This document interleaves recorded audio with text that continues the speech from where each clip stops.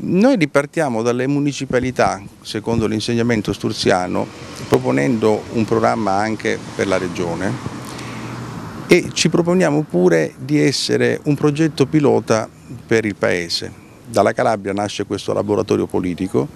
aperto all'area moderata, popolare, riformista, oggi anche ambientalista,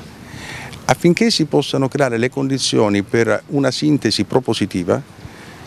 e che sia all'insegna del buon governo e della coerenza che si rinnova e si rimodula con i tempi e con i programmi dell'attualità.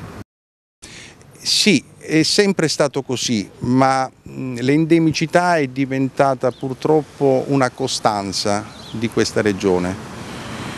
Io ho fatto delle proposte di buonsenso come quella appunto di prevedere durante questa legislatura che considero costituente anche qualche sana riforma come quella della sfiducia costruttiva che potrebbe essere prevista con la prossima legislatura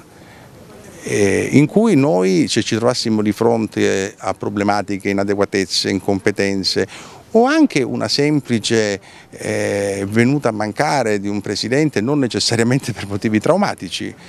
Il Consiglio regionale si assume una responsabilità politica di trovare all'interno del, della sua assemblea soluzioni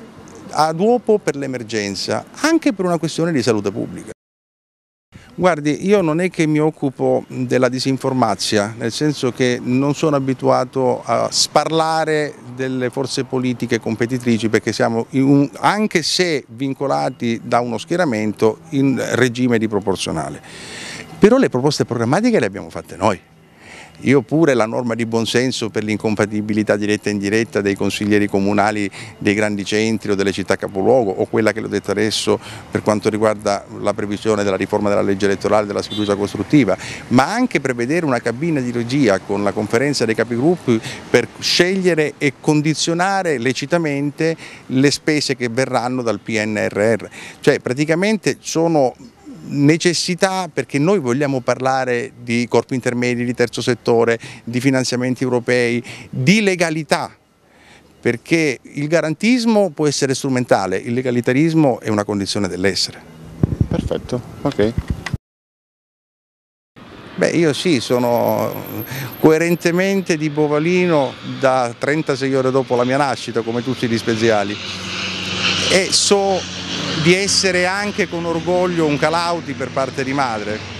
e i Calauti e non solo loro a Siderno e nella Ionica, almeno per quanto riguarda la mia parte politica, voteremo ritorno.